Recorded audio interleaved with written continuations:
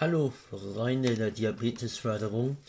Ich habe heute zwei ähm, Überraschungseier für euch von Paw Patrol. Es handelt sich dabei um eine Fremdfirma und zwar um Mondesir. Genau, Mondesir. Ähm, da habe ich schon mal ein Video hochgeladen mit Barbie-Überraschungseiern. Und da habe ich auch erwähnt, dass ich zusätzlich noch den Paw Patrol habe. Und hier sind sie. Ähm, hier sehen wir, glaube ich, Everest heißt dieses Hündchen. Und es ist Rubble. Genau. Ich bin mir jetzt nicht 100% sicher. Ich habe die Sendung noch nie gesehen. Aus dem Alter bin ich heraus. Aber was man halt immer so hört, müssten das die Namen sein. Ich bin gespannt, was da drinnen ist. Gefunden habe ich sie bei der Firma Fleischmann. Fleischmann ist so ein Restpostengeschäft. Ist halt Überproduktionen verkauft oder eben Restposten. Und gekostet haben sie 79 Cent das Stück. Und ich persönlich glaube aber, dass wir darin keine Figuren haben, sondern Irgendwas sagt mir Radiergummis. Ich habe nämlich schon öfter solche Eier aufgemacht und da waren sehr häufig Radiergummis drinnen. Unter anderem habe ich auch schon eben die Barbies geöffnet. Da war allerdings ähm, ja, Schmuck drinnen oder Accessoires besser gesagt. My Little Pony, da war ein Radiergummi drinnen, das weiß ich noch. Und ansonsten weiß ich nicht, ob ich noch andere Eier hochgeladen habe. Schreck hat nicht mal, da waren Figuren drinnen, das weiß ich noch. Na okay, wie dem auch sei, ich würde sagen, wir fangen jetzt einfach mal an mit Everest. Also ich glaube, sie heißt so. Es gab die auch noch in anderen Verpackungen, aber die Verpackung an sich ist ja relativ wurscht, weil ich sagt mir nichts darüber aus, was drinnen ist. Die Schokolade, wie auch bei den Barbie-Eiern, zweigeteilt mit Sternchen-Einprägungen.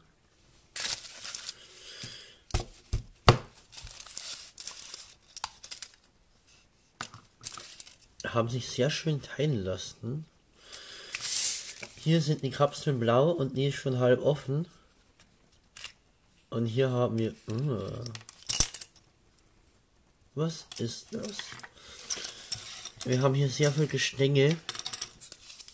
Aber es sieht nach etwas von Paw Patrol aus, das ich mal eben kurz zusammenbauen muss. So, ich bin jetzt eine geschlagene halbe Stunde an diesem Dreck dran gesessen. Ich bin wirklich gerade stinke sauer. Dieses ganze Gestell kam in Einzelteilen.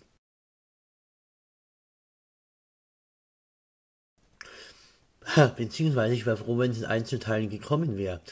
Die waren nämlich alle noch ähm, verbunden mit diesen typischen kleinen hm, Plastikknubbelchen. Ich habe die alle mal hier drinnen. Das heißt, ich muss das alles einzeln abreißen und diese kleinen Plastikknubbelchen abriemeln, um sie dann hier zu entfernen. So, dadurch wurden auch einige Stangen verbogen. Ähm, sonderlich stabil ist das Ding auch nicht. Und der Overhammer ist ja hier, diese kleine Scheibe hat einen, ähm, so einen kleinen Stick. Der Stick ist aber so dermaßen schlampig ähm, gegossen. Das könnt ihr, glaub, ja, könnt ihr mir nicht erkennen, dass hier links und rechts immer noch Überreste sind und das Ganze nicht in das Loch hier reinpasst. Da ist nämlich ein kleines Loch drinnen.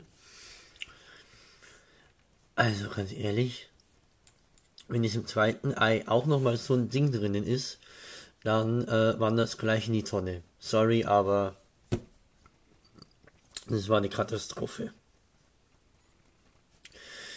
Was man sagen muss, ich könnte mir wenigstens vorstellen, hm, dass man hier diese Schaukel noch für ein Lego-Häuschen oder was gebrauchen könnte. Oder für kleine Puppen. Dahingehend wiederum ist es gut.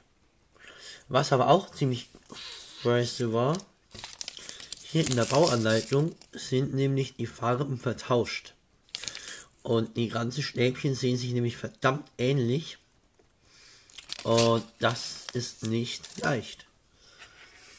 An sich, ja gut, man muss ihr lassen, sie schwingt gut. Die bräuchten bloß eine bessere Befestigung, aber okay. Jetzt, wie gesagt, für ein Puppenhaus oder so weiter ist es okay. Dann nehmen wir das zweite Ei. Schaut von der Schokolade her ein wenig, mh, mm, man möge mir verzeihen, abgefuckt aus. Und das ist jetzt leider auch nicht so schön aufgegangen wie andere. Interessanterweise hier eine rote Kapsel. Ich hoffe mal Gutes. Ich hoffe echt, dass da irgendwas anderes drinnen ist als... Ja, es ist auf jeden Fall was anderes. Äh.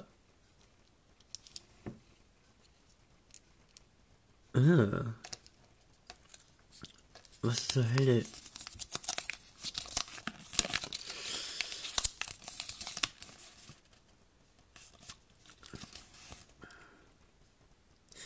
Core Ventanas.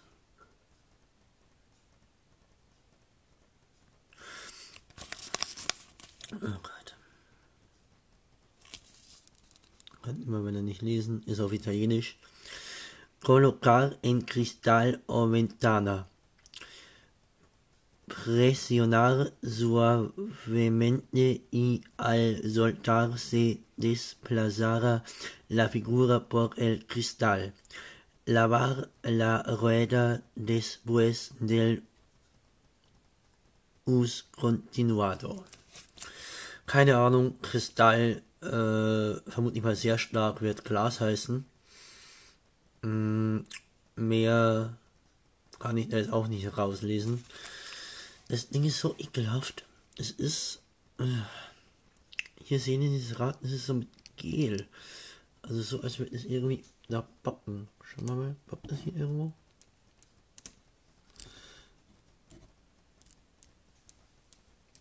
Okay, es soll wohl langsam hier runterfahren. Okay, was ich sagen muss, das Gelrad ist interessant zum Spielen. Vielleicht will ich mir das Ding hier tatsächlich aufheben. Kann man das rausmachen?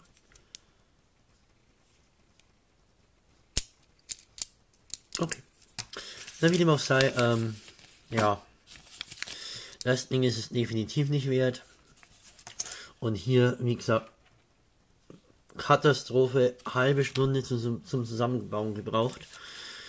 Ich brauche jetzt erstmal eine, Sch eine Schokolade zum Verdauen. Oh, geil.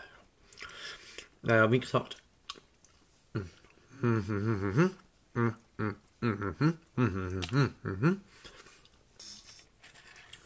So ein kleines Puppenhäuschen, sicher total süß. Würde jetzt auch mal nicht im Müll landen. Mal schauen, vielleicht kann ich irgendwas damit noch anfangen. Also dann danke für euer Zusehen und wenn ihr wollt, lasst mir einen Daumen da nach oben ähm, oder wenn es euch nicht gefallen hat, auch nach unten. Äh, ich bin für Kritik immer offen und ich würde mich über ein Abo freuen und wenn ihr vielleicht nächstes Mal wieder mit dabei seid. Also macht es gut, bye bye.